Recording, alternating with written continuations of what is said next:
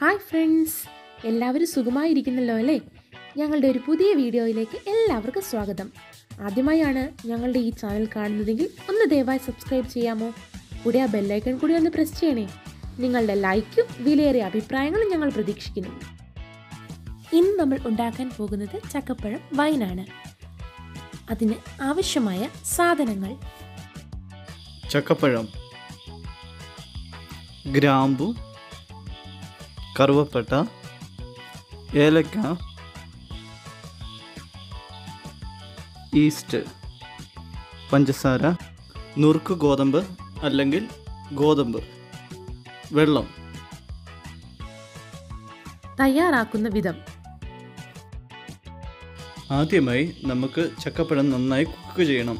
അതിനായി കുരു കളഞ്ഞ് ഇതുപോലെ വൃത്തിയായി ചക്കപ്പഴം എടുക്കുക. ഇവിടെ നമ്മൾ ഉപയോഗിച്ചിരിക്കുന്നത് അഞ്ച് ലിറ്ററിന്റെ പ്രഷർ കുക്കറാണ്. നമുക്ക് ഈ ചക്കപ്പഴം കുക്കറിലേക്ക് മാറ്റാം. അതിനുശേഷം രണ്ട് ഗ്ലാസ് വെള്ളം ഒഴിക്കാം. ആവശ്യമെങ്കിൽ നിങ്ങൾക്ക് കൂടുതൽ വെള്ളം ഒഴിക്കാം പക്ഷേ ഇതിന് ഈ അളവ് മതിയാവും. നമുക്കിനി പ്രഷർ കുക്കർ അടയ്ക്കാം. എന്നിട്ട് നമുക്കത് ഒന്ന് വേവിക്കാം. നന്നായി കുക്ക് ചെയ്യണം. അതിനുവേണ്ടി നമ്മൾ ഗ്യാസ് സ്റ്റൗ കത്തിച്ച് സ്റ്റൗവിൽ പ്രഷർ കുക്കർ വയ്ക്കുകയാണ്. പ്രഷർ കുക്കറിൽ ആവി വന്നതിന് ശേഷം നമുക്ക് വെയിറ്റ് ഇട്ട് കൊടുക്കാം. ഒരു വിസിൽ വന്നതിന് ശേഷം ഇത് തണുക്കാനായി നമുക്ക് മാറ്റി വയ്ക്കാം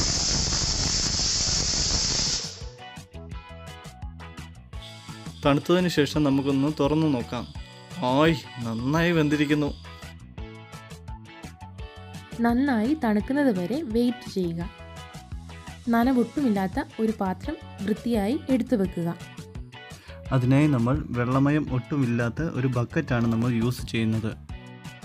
ആദ്യം ചക്കപ്പഴം പിന്നെ പഞ്ചസാര പിന്നെ ചക്കപ്പഴം പിന്നെയും പഞ്ചസാര. അങ്ങനെ ലെയർ ലെയറായിട്ട് വേണം ഇതിടാൻ ഇങ്ങനെ ചെയ്യുമ്പോൾ പഞ്ചസാരയും ചക്കപ്പഴവും തമ്മിൽ പെട്ടെന്ന് മിക്സ് ആകാനുള്ള ഒരു സാഹചര്യമുണ്ട്. അതുകൊണ്ടാണ് നമ്മൾ ഇങ്ങനെ ചെയ്യുന്നത്.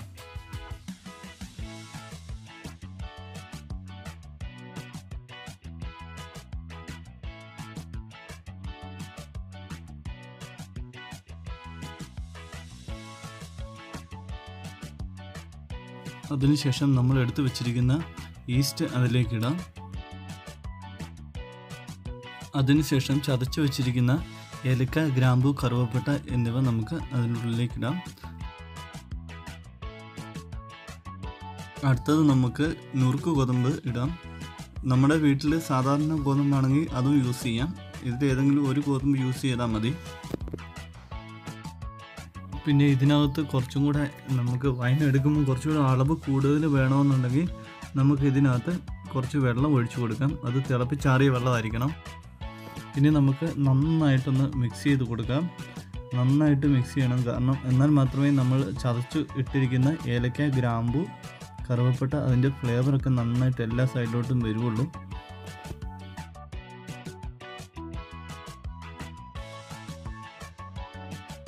അടുത്തതായി നമുക്ക് ഇതൊന്ന് ക്ലോസ് ചെയ്യണം. അതിനായി അതിന്റെ മൂട എടുത്ത് നന്നായി അടയ്ക്കാം. അതിനുശേഷം നമുക്ക് വായു ഒട്ടും കടക്കാതിരിക്കുന്നതിനായിട്ട് നമുക്കതിന്റെ മേളിൽ ഒരു തുണി വെച്ച് കെട്ടി വയ്ക്കാം നന്നായിട്ട്. കെട്ടുമ്പോൾ വളരെ നന്നായി ശ്രദ്ധിച്ച് കെട്ടുക. ഒരിക്കലും ഊരി പോകാത്ത രീതിയിൽ തന്നെ നല്ല ടൈറ്റായിട്ട് തന്നെ കെട്ടണം. ഈ വീഡിയോയിൽ കാണുന്നത് പോലെ തന്നെ ചെയ്യാൻ ശ്രമിക്കുക. എന്നാലേ എന്നാൽ മാത്രമേ അതിന് നല്ലൊരു റിസൾട്ട് ഉണ്ടാവുകയുള്ളൂ നമുക്ക് പിന്നെ ഇത് വെക്കേണ്ടത് വെളിച്ചം മുട്ടും കിടക്കാത്ത ഒരു റൂമിലായിരിക്കണം. അതിനുവേണ്ടി നമുക്ക് എത്രത്തോളം ഇത് ടൈറ്റായിട്ട് മുറുക്കി കെട്ടുമോ അത്രയും നല്ലതാണ്. അതിനുശേഷം നമ്മൾ യൂസ് ചെയ്തിരിക്കുന്നത് ഒരു നല്ലൊരു ചാക്ക് സഞ്ചി എടുത്തിട്ട് അതിനുള്ളിലാക്കി. അതിനുശേഷം പ്രകാശം ഒട്ടും കിടക്കാത്ത ഒരു റൂമിൽ വയ്ക്കുക പിന്നെ ഏഴ് ദിവസം കഴിയുമ്പോൾ അത് എടുത്ത് നമുക്ക് ഉപയോഗിക്കാവുന്നതാണ്.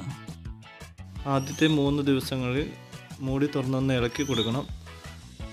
നമ്മൾ ഏഴ് ദിവസം മുമ്പ് ചിത്രീകരിച്ച വീഡിയോ ആണിത്. അതുകൊണ്ട് തന്നെ നമ്മളിത് ഇന്ന് ഓപ്പൺ ചെയ്യുകയാണ്.